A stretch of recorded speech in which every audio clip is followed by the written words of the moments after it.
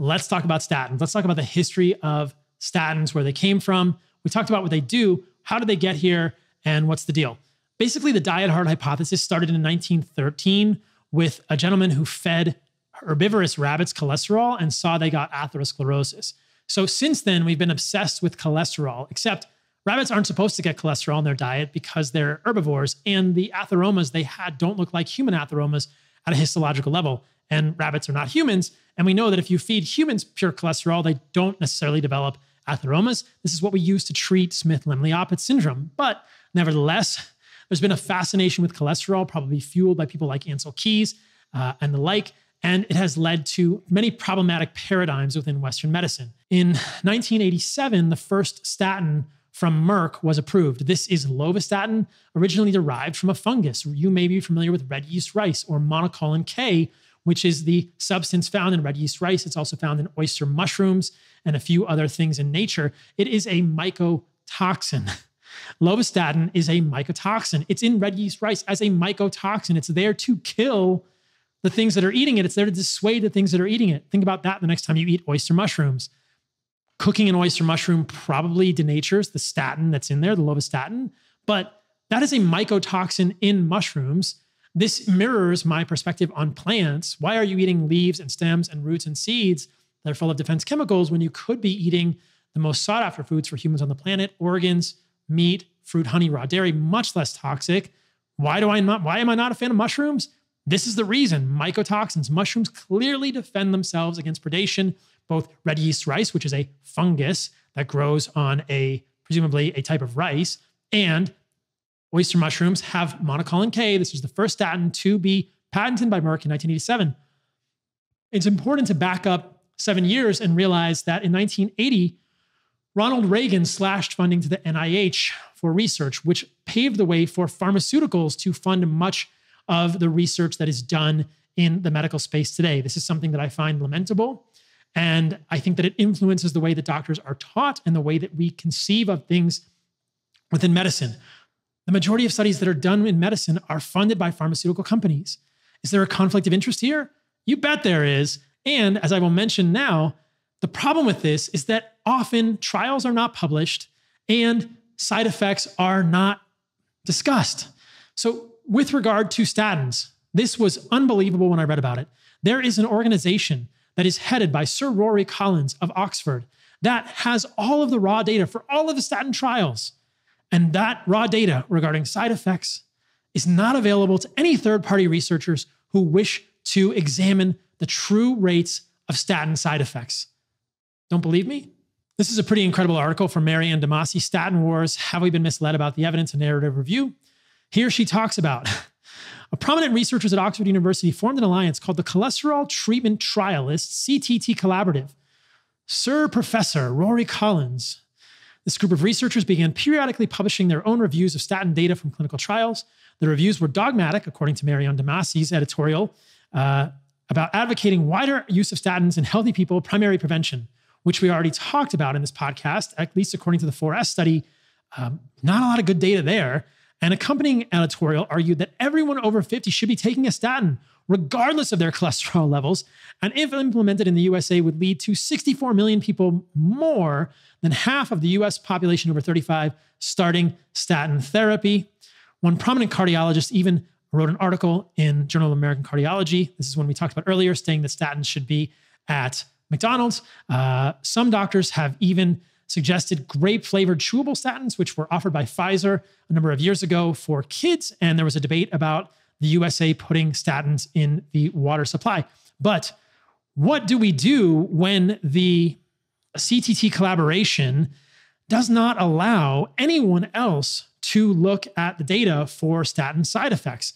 Interestingly, as Maryanne Demasi notes in this article, the CTT collaboration is a branch of the Clinical Trial Service Unit at Oxford uh, demands the principal investigators of the statin trials release the raw data on efficacy and side effects. There is growing unease that the CTSU has received over 260 million pounds in research funding from the pharmaceutical industry, the vast majority of it from manufacturers of cholesterol lowering drugs. They will not let third parties look at the side effects of statin drugs. What? What? Back to the history of statins. In 1990, there was an NIH panel convened to ask the question of whether lowering LDL in human physiology was a good thing. And their conclusion was maybe it's not a good thing. Maybe we should be careful. Well, that was swept under the rug. Uh, and very few people know that in 2001, Bayer recalled a statin named Simvastatin and has paid out over $1 billion to settle lawsuits related to serious side effects related to that statin from Bayer. A very interesting thing happened in 2004 in the medical research realm, and this was a scandal involving Vioxx. The pharmaceutical company behind Vioxx was found to be guilty of massaging data, of withholding data, and many thousands of people suffered cardiac and cerebrovascular events because this drug was not fully vetted and the negative side effects were hidden. After that time, increased regulations were placed on the way that trials are done, on the way that side effects are reported. And interestingly, as part of my research for this podcast, there is a real difference in the way that statin trials look in terms of outcomes before and after 2004. I'll show you guys a couple of graphics here in a moment. But what we find is that before 2004, statin trials made statins look like they were very effective for reducing cardiovascular disease. Statin trials after 2004 do not look nearly as impressive. And the problem with this is that when you look at statin efficacy in reducing cardiovascular disease or overall mortality, those are very important endpoints to consider, and they're different endpoints. We see that these meta analyses will conglomerate all of the data over the last 30 years of statin trials. Well, as you'll see in a moment, data from after 2004 looks much less impressive than it did before 2004. But a meta analysis pushes all of this together and we lose the details amongst all of the numerous studies that are being considered. This is the problem. This is a nuance of a meta analysis that must be considered carefully. Though it's a good type of study because it's looking at more data, it is also mixing trials potentially of varying qualities. And I think that what we have to be aware of at this point is that historically, with the massive change in the way that studies were done and the way that results were reported, in that amount of time, we must be very skeptical of this. So, this is an interesting paper. The title is Statins Stimulate Atherosclerosis and Heart Failure Pharmacological Mechanisms. It's from Expert Reviews of Clinical Pharmacology in 2015. Uh, the authors are here. The first author is Harumi uh, Okuyama. But from this paper, I want to point your attention to this graphic. If you're not watching on YouTube, this is probably worth looking at. So you can see here on this graphic that the secondary prevention trials are in purple, dark blue, and the primary prevention trials are in light blue. It's important to note that this 4S line up here um, is a secondary prevention trial. This is in the people who had the lipid triad of low HDL, high triglycerides. Earlier in the podcast, I mentioned that in the people who did not have low HDL and high triglycerides, there was no significant benefit from adding simvastatin. And I overlaid my risk on that, which is important to consider that I'm a primary prevention and 4S was a secondary prevention trial. But the point I'm trying to make here is that originally in 4S, if you didn't have insulin resistance evidenced by low HDL and high triglycerides, there was no benefit to having a statin, even in secondary prevention. And if you look at this graphic, before 2004, the trials definitely showed a significant improvement in cardiovascular coronary artery event ratios for secondary prevention and even for primary prevention based on LDL levels. But this graphic, I will show you an erratum. There's an erratum for this graphic, which I will show you in a moment here. The after 2004 graphic looks like this. And you can see here that these lines do not slope downly nearly as sharply as the lines from pre 2004. In fact, some of these lines even go up, meaning that when you lowered LDL in some of these trials, like the SEAS trial, like ENHANCE, which was looking at uh, intimal medial thickness getting worse, uh, this is GCHF, which was all cause death as the outcome, which got worse when you lowered LDL. Um, some of these go up. There's Illuminate. Uh, so these lines are very different slope, going many of them either slightly downward or even upward, depending on the primary endpoints, relative to the pre 2004 studies. What we must question here is whether or not there has been shady reporting of cardiac outcomes in statin trials before 2004 that changed significantly. And I think that if you are looking at data regarding cardiac outcomes, intimal medial thickness, or all cause mortality for statin drugs or other drugs that lower LDL in that graphic, we must consider these either post 2004 or pre 2004 because we know there is a difference in the way these trials were done, the quality of the trials, the quality of the reporting. And throughout all of it, no third party can actually get statin side effects because that's at the CTT under the watchful eye of Professor Sir Knight Rory Collins. Interestingly, and along these same lines from the paper from Maryanne Demasi called Statin Wars, she says that in the case of statins, the vast majority of trials are sponsored by the industry. As I mentioned, Ronald Reagan, 1980, et cetera. Only one major non industry funded study on statins has been done it is the ALLHAT trial, the antihypertensive and lipid lowering treatment to prevent heart attack trial, acronym ALLHAT, which showed pravastatin had no significant benefit in reducing either all cause mortality or coronary heart disease in primary prevention. That is the only one that has not been sponsored by the industry. So, is something shady afoot here? I think we must be wary of that possibility. In fact, I think there's a lot to make us quite suspicious of that at this point. I want to get to actual levels of statin side effects in a moment. I want to talk about the heart protection study. But before I get there, I also wanted to talk about the cholesterol guidelines and how these have changed over the years.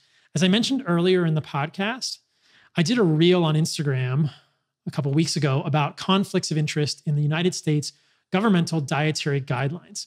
And what I found reading a paper that my friend Andrew Huberman had sent me, hat tip to Andrew, was that 95% of people who made those guidelines had industry ties, as I mentioned earlier, ILSI, et cetera. Well, what we find about cholesterol guidelines is very similar.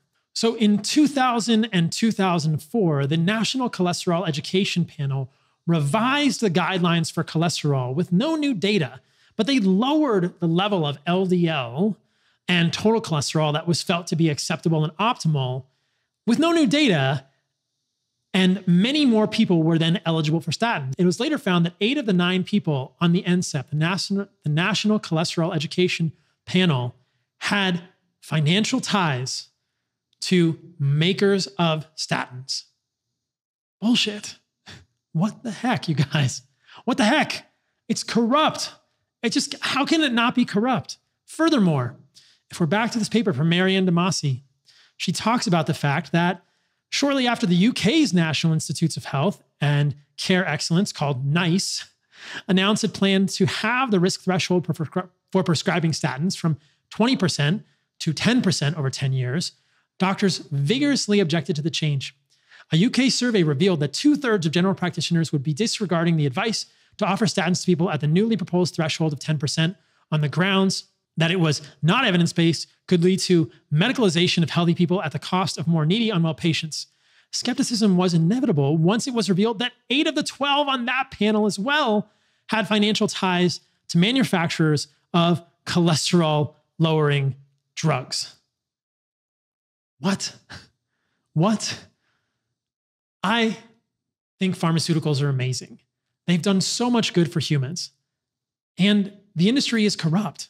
The industry is focused on money, and we must be skeptical of this. They have benefits, but often the side effects are underplayed, and we are not told of important side effects, or studies are designed to minimize side effects. I've certainly prescribed medications in my life. I've taken medications in my life that have been helpful for me, but the pharmaceutical industry does not have a good track record, and it continues to look more and more shady the further down the rabbit hole you go. Consider this article from the British Medical Journal in 2004 Scandals have eroded US public's confidence in the drug industry. Uh, I hope so.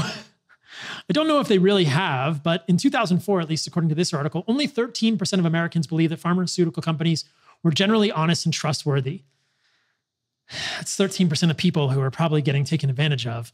But in this article, they talk about different scandals, different corruptions. Um, different problems involved in conflicts of interest here. Uh, this is a scandal coming uh, after a publication of a study from the center showing that authors of 13 of 163 articles published in leading US medical journals had failed to disclose relevant conflicts of interest. The list goes on and on, guys. This is not uh, a new thing, this is not a striking thing. The pharmaceutical industry has many fingers and tentacles into lawmakers, and there are many conflicts of interest that are not being disclosed.